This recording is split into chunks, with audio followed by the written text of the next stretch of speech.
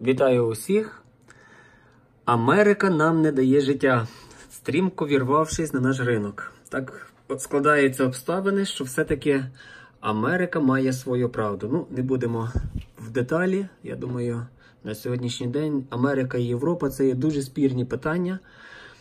Є одна, одна категорія людей, яка чітко за Європу, вона все-таки до нас ближче. Інша категорія людей за Америку. А основна різниця тільки в тому, що Америка це биті машини, і є люди, які не люблять биті машини. Незалежно, чи вона бита легко, чи мало, відчуття Америки це значить бита машина. От. А є Європа, яка є не бита, зато мінус в Європі великі пробіги. Ну, от тут таке. Не будемо зараз це вникати. Суть така. Значить, В принципі, тема сьогодні в нас буде такий момент. Ми зараз під клієнта шукаємо машинку Ford C-Max. Так вийшло, що ми його вже торгували. І вийшло так, що ми торги одні вже були в нас, ми програли. Там буквально за, за, нам не вистачило пару сотень е, доларів, щоб поставити, але ставку змінити ми вже не могли. Ну, суть така. Зараз ми знайшли такий Ford. Так, ось він у нас відкривається. Значить, Бачимо, що що є можливість торгуватися. Ось тут ставочка, бачу, вже 1250 стоїть. А є можливість купити вже за 4 185 доларів там. При такій купівлі ми вирахували, що в Одесі машина буде, її вартість буде 11400. Бюджет клієнта, в принципі, в 11, ну, грубо в 11, скажімо так. От, значить, Давайте глянемо на цю машинку. До речі, ми її вже перевірили. Вона не була відновлена. В неї з нею оцей удар, який вона отримала, це перший її удар, і з цим ударом її продають, що є дуже-дуже добре. Значить, Бачимо, ось так вона виглядає.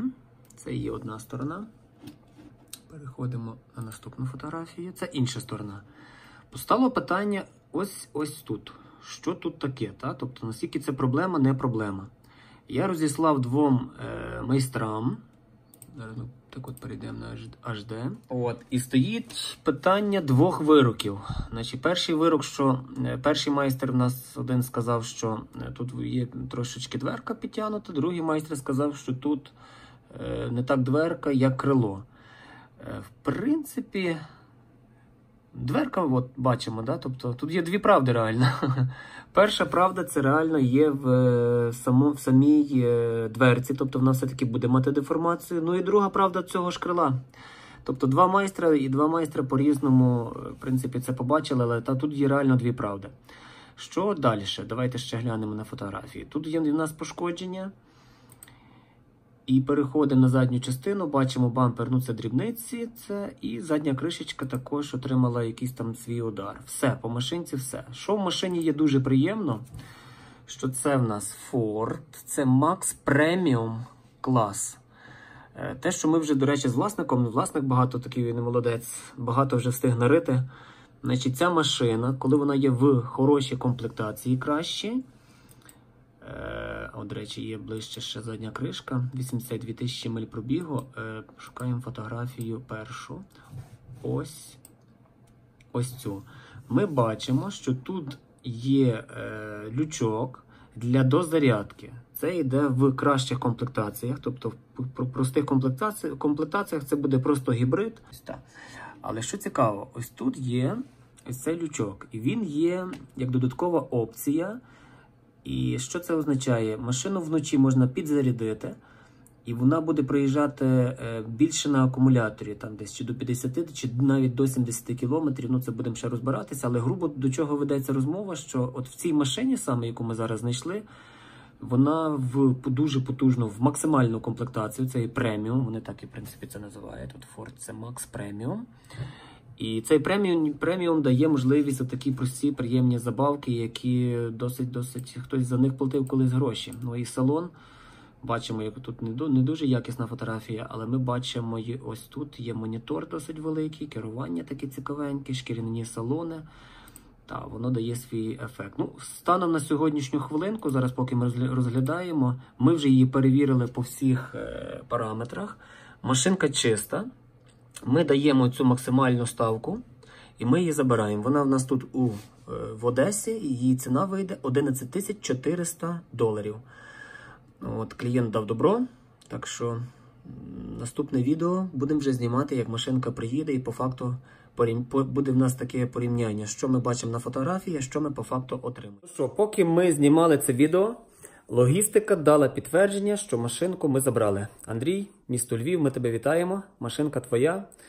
От, по узгодженню, по ціні все в нас спрацювало. Е, єдиний один момент, ще хочеться наголосити, так ще до цього відео. Значить, е, купівля машини погоджено з клієнтом 11400, вона буде в Одесі. Вже по Україні, звичайно, клієнт за свої кошти собі везе, куди йому потрібно. Та? Ця ціна буде незмінна. І всі машини, які, в принципі, я там підказував людям та, в процесі от, купівлі, ми вибирали машину, машини приїжджали, ніхто не доплачував до розмитнення. Тобто є погоджена е, ціна, ми за ту ціну домовились, людина дає ті кошти і більше е, до розмитнення, до стоянки, якісь там гроші люди доплачують. Е, У мене, до речі, є таке відео зняте. Просто е, товариш такий Сергій забіг до мене по, по, по роботі, там по одному питанню. І почав мені розказувати, за що він платив, які до розмитнення, як, він платив е, за стоянку. Ну, давайте зараз глянемо. Перше це відео. Ну, людина не готова була до зйомки, я так витягнув з кишені, він такий ошарашений. Але давайте глянемо. От за що він, що розказує людина, яка везла машину. От. Ти знав Audi, Audi A7? Ну, Ні, ні, кажи, кажи. Audi A7, який рік? 12 рік. 12 рік Так. е, з Америки. Да. Е, Вона простояла на 47 днів. 47 днів, сто- простояла в Одесі на митниці, Да, так? в Одесі на Брокер митниці. так довго розмитнював. Да. Скільки вони тобі нарахували?